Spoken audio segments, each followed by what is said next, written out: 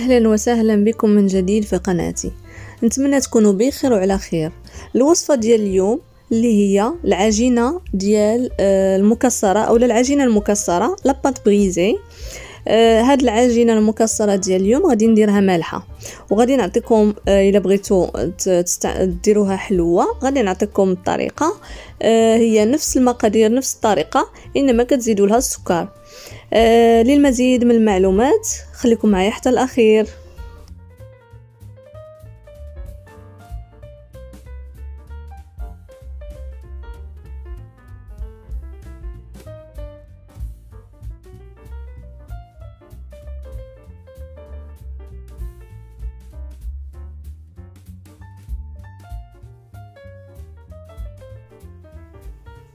بالنسبة للوصفه ديال آه، العجين المكسر غادي نحتاجو هنا 130 غرام ديال الزبدة اللي كتكون بحرارة المطبخ 250 غرام ديال الدقيق اللي غادي نغربلو من بعد.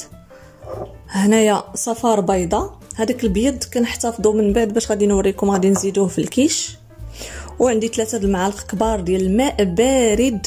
باش كنزيدوه مع البيض. هذا الماء البارد مع البيض تعطينا القرمشة. آه بالنسبة لاباط بغيزي أو العجين المكسر كنضيفوا ليه هذا صفار البيض. آه إلا كان يعني العجين غادي نديروه للحلو يعني الحلويات. مثلا غادي نعمروها بلا كريم باتيسير ونديروا لها الفواكه. ولكن هذا البيض بالتجربة البيض مع الماء كيعطي واحد القرمشة آه زائد الزبدة العجين المكسر وما كيتكسرش لينا. شوية ديال الملحة. غادي نبداو على بركة الله. باننا بما أننا غادي نحضروا هنايا العجين المكسر المالح فما غاديش نستعملوا السكر. لو كان كنا غادي نستعملوا العجين المكسر آه يعني الحلو غادي نضيفوا جوج معالق كبار ديال السكر سنيدة. ولكن هنا غادي نبداو أول حاجة بالزبدة. هنا كما قلت لكم بحرارة المطبخ. كنديروها هنايا. وكنحاولوا نعجنوها برؤوس الأصابع. هانتوما كيف ما كتشوفوا لأنها يعني بحرارة المطبخ. فهنايا. بالنسبة لهاد صفار البيضه شنو غادي ندير ليها؟ غادي نضيف ليها ثلاثة المعالق كبار ديال الماء البارد كما قلت لكم. واحد. جوج. ثلاثة. كنضربهم واحد شوية.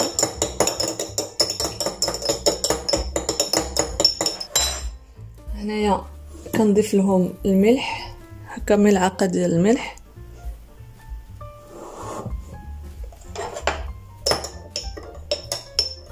وكنحرك.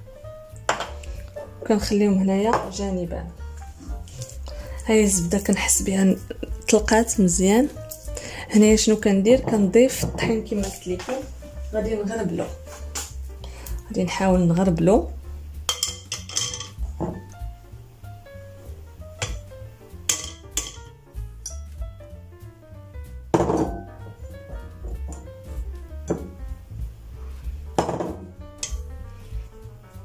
كما شفتوا أنا تنخدم غير بيد وحدة. هنايا كنحاول نجمع العجين. كنجمع الزبدة حتى كنحصل على خليط مرمل.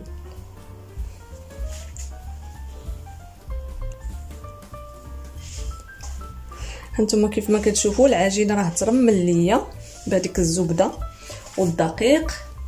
هنايا كنحاول نضيف داك الصفار ديال البيض اللي ضربته مع الماء البارد ثلاثة المعالق كبار والملح. هنايا غادي نحاول نخلط بحال هكا ونزيد. هنايا كنجمع العجينه غتجمع ليا بكل سهولة.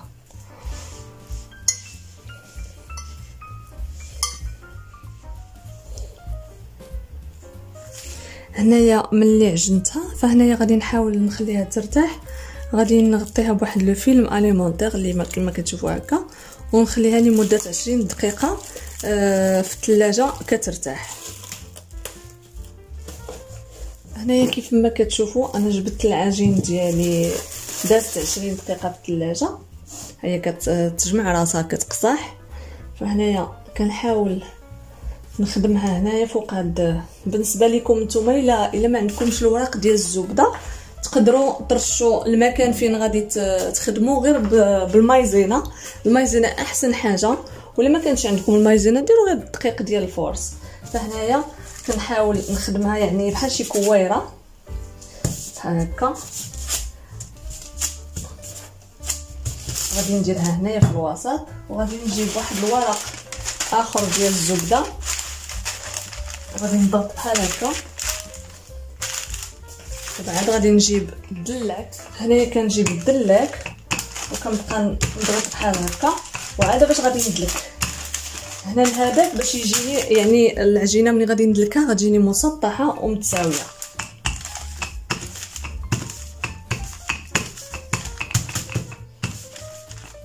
هنايا كيف ما كتشوفوا أنا ساليت يعني العجينه هانتوما كيف ما كتشوفوا غادي ندير هاد الصحن هذا. يا إما كترشوه بالمايزينا أو لا كتخليوه الا كنتو عارفين بان ما غاديش يلصق لكم. تخليوه هكا. هنايا أنا غادي نحاول نقلب هاد العجينه على هاد الصينيه هكا. بهاد الطريقة.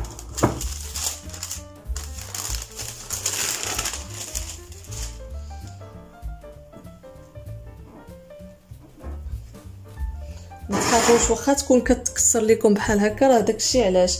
هاد العجين المكسر كيكون كيكون يعني حساس دغيا تيتهرس. دغيا تيتشق ماشي مشكل لأن فيه الزبدة نقدروا نصلحوه بحال دوك الشقات هكا كتسدوهم. كتجيبوا هاد الطريفات هادو كذلك. كتعمروا بهم دوك البلايص اللي كتحسوا بهم ضعافين. هانتوما هاد الشقة مثلا. غادي ندير لها هكا. وعاد غادي نبدأ بحال عاد كنقادها. هي علاش يبسات لي في يديا؟ لأن آه، الزبدة كتبرد مع البرد. مع دابا كاين البرد. ملي كنستمر بهاد الطريقة هادي. فيما تبان ليا شي شي هوتة كنقادها وعاد باش عاد كنحيد هاد الجناب هادو. المهم هانتوما كما كتشوفوا هنا كذلك. كما قلت لكم راه ساهلة. بالنسبة للعجينة هانتوما كيف ما كتشوفوا أنا وزعتها. فهنايا كتبقاو تضغطوا هكا على جناب باش ما كتجيكمش عاوتاني غليظة. وهنايا عندكم واحد الثقابه آه نتوما إلا ما عندكمش هذه كديروا غير الفورشيت يعني الشوكة. فرشيطة باش كتاكلوا هنايا كنتقبيها مزيان. هكا الجناب والقاعدة. هكا. باش ما كتنفخش ليا. هنايا الفران عندي سخون على درجة حرارة 200 درجة حتى ل 180 أنا سخنته على 200 غادي نقصو دابا غنرضو ل 180 غادي نغطي هذا الوجه هذا بالالومنيوم بالالومنيوم لأن ماشي ضروري أنكم ديروا فوق منها اللوبيا. فانا هذا هذاك كيجيني زعما بحال بحال الضايع يعني. الواحد ما خصوش يضيع تاني. فأنا غادي ندير الالومنيوم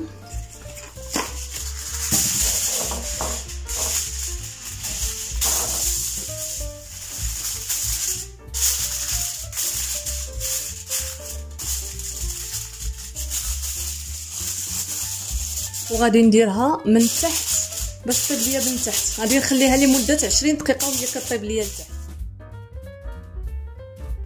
وهنا كيف ما كتشوفوا مني دازت هذيك العشرين دقيقة. آه، فهنا غادي نزول لي هذاك الالومنيوم وغادي نرجعها الفوق بدون الومنيوم لمدة عشر دقائق. فهنا العجين المكسر راه طاب ليا. أه هنا مباشرة دزت كنخلط دوك العناصر باش غادي ندير أه نعمر هذيك la pâte brisée أولا العجينة ديال الكيش بالعمارة ديال الكيش. أه فهنايا كيف ما كتشوفوا الوصفة اللي درت درت استعملت فيها هاد la pâte brisée أه هي الكيش يعني مالح ماشي tarte حلوة يعني بالفواكه ولا crème pâtissière وإنما كيش مالح. أه فكنتمنى الوصفة ديال اليوم تنال الإعجاب ديالكم. آه بالنسبة لهاد العجينة ديال لاباط بريزي ممكن ديروها وطيبوها كيف ما وريتكم وديروها في المجمد إلى حين الاستعمال باش كتجيكم سهلة. أه هنا غادي توقف الفيديو ديالي. كنتمنى الوصفة ديال اليوم تنال الإعجاب ديالكم. ما تنساونيش بالتعليقات ديالكم اللي كتفرحني دائما. وبالنسبة لكيش غتلقاوها إن شاء الله في نهاية الشاشة ديال فاش غتساليو هذا الفيديو ديال لاباط بريزي. إلى. في رعاية الله وحفظه إلى الملتقى إن شاء الله. بسلام عليكم.